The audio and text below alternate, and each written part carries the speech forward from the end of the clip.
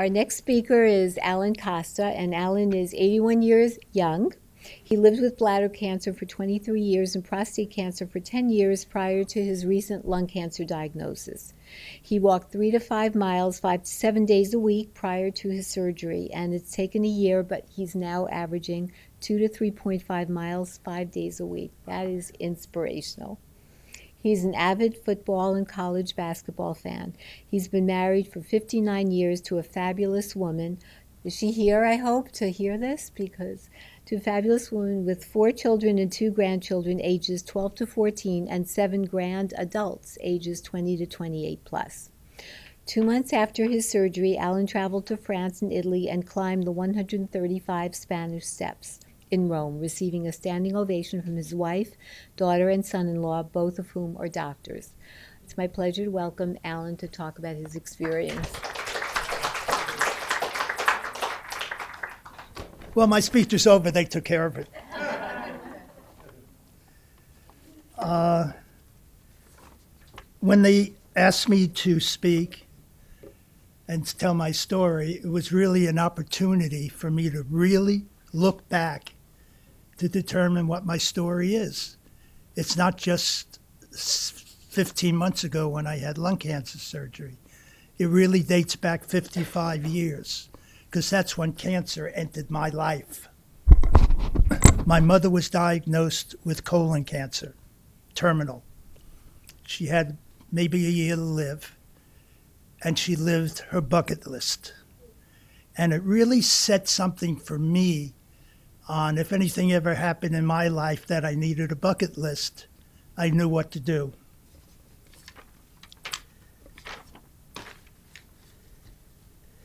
In October of 1994, I was diagnosed with bladder cancer. That was a Thursday. That night I had surgery. Two months later, I had surgery again. And I asked my doctor why. Is this the methodology you're going to use?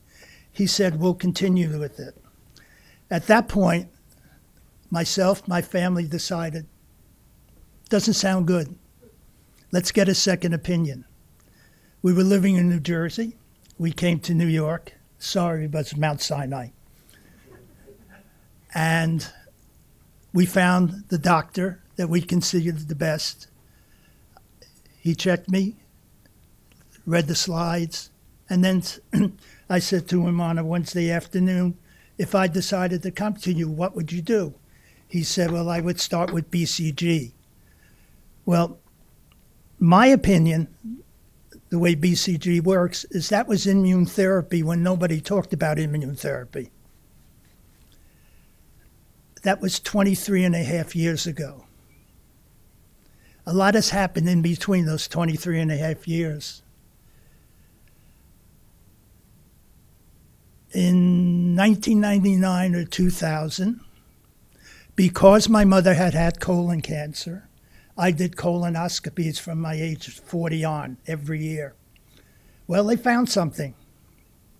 And I had colorectal surgery, benign. Another good one. In, 19, in 2006, I got prostate cancer one cell, one sample out of all of them. Watchful waiting was the determined method to follow. Three years later, did another biopsy, nine negative samples. My doctor didn't believe it because my PSA, the word about prostate, number kept going up, up, up, up, and continues to go up, and my prostate is the size of the Empire State Building. By the way, we found out about the BCG because my son came in when in about the second week after the surgery He came to the house and with a pile of paper this high. I got all of this off the internet. It tells us everything about bladder cancer. And that's where we saw the BCG, which at the time was 55% effective. At the end of 16 treatments, no success doctor said, Would you like to, were you willing to go into a trial? I said, I'll try anything. Three months later, we do another test. He says, Come in again right away. Scared the hell out of me. I went in, he said, Okay, cancer's gone. Don't ask me why. it was there when we talked about it. We didn't do anything, it's gone. Was an interesting thing that was in those four inches of paper, besides the BCG, was that my type of cell, there was always an opportunity for it to reoccur in 12 years. 2007 came by. Guess what? It reoccurred. Went through the treatments again.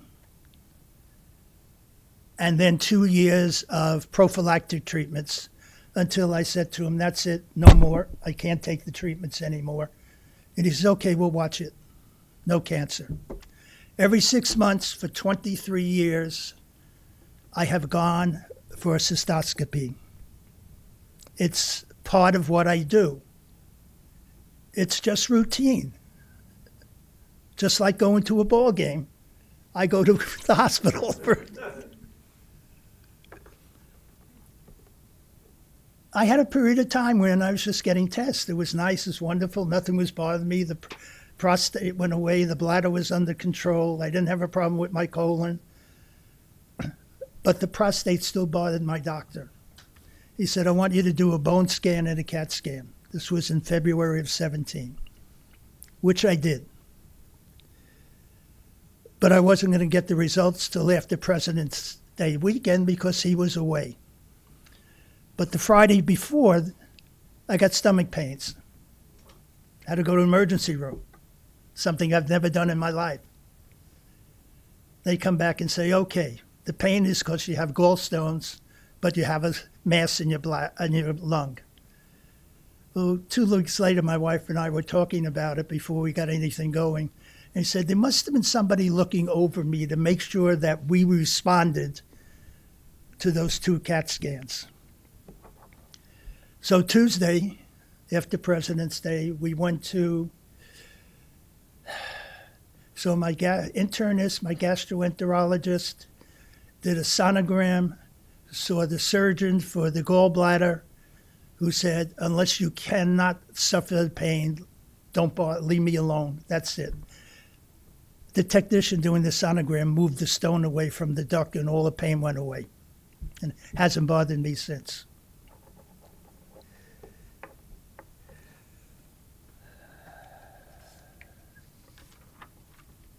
On my in, my internist, Greg Pataro, took charge of my health plan. From the point of his starting the calls, I never called another doctor for an appointment. The doctor offices were calling me. Is this what everybody wants? Yes. Is this what NYU delivered? Yes. I finally met my surgeon in mid March, recommended, didn't know her from Adam. I think I scared her away. She's now at the Mayo Clinic. and um, she told me what they were going to do. And she said, Do you have any questions? I said, I have a question and a statement.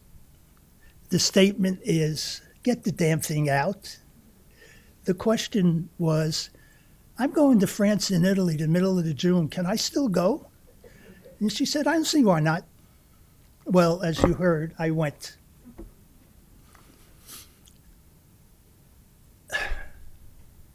The surgery was two days after my 80th birthday.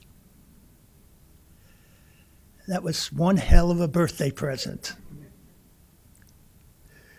The surgery went very well. I couldn't believe it. I was out of the hospital in less than 48 hours. The I went home confused, unhappy, in pain. could not understand why this all happened. I had this long stretch of nothing. Why did this happen? Never smoked. My mother was a smoker, and I hated smoking.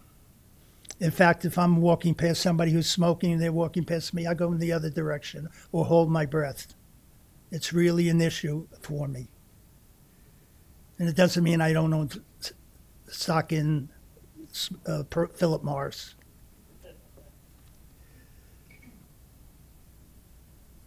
I got home and played around adjusting the medication. I was allergic to one of the painkillers. And then I started to cry several times a day, not understanding what it was all about. And one of the days that we were in for a checkup, I saw the flyer for the lung cancer support group. And I called Catherine and I said, Here's my story. And she said, Well, I think you ought to see a therapist. I said, Good. I'll find one for you that'll work for you. She did. I saw the therapist, and it was interesting. We sat down. I introduced myself to her. She introduced herself to me, and I then spoke for one hour. She didn't say a word. At the end, she said, How do you feel now? I said, Fine. She says, Good. Call me if you need me. My issue was I had three very dear friends die of lung cancer, one of which lasted one week after diagnosis. So that was hanging there, and what I was having was survivor's guilt. And I had not looked back at my history at all yet. I didn't think about everything else I had gone through. I was really focused on this issue. Why did this happen to me? Well, I decided to join the lung cancer group, although Catherine said, we need to find a survivors group for you, but you come to our meetings, which I did. And I think she's glad I did. Um, the group is wonderful. We all recognize that no matter what stage we are in the uh, life with cancer, we are survivors the definition by a dictionary that I found who had a reasonable definition. A survivor is a person who continues to function and prosper in spite of the opposition, hardship, or setbacks. That's what we all are, no matter where we are in our, in our situation with cancer. I'm very lucky. I've been very lucky all my life. I'm clean and I'm doing my pay forward as I volunteer one morning a week at the cancer center. And I'm going to cry because I'm a crier. uh, and those four hours are so important to me. And I'm not a doctor, I'm not a nurse, but they're my patients. Thank you.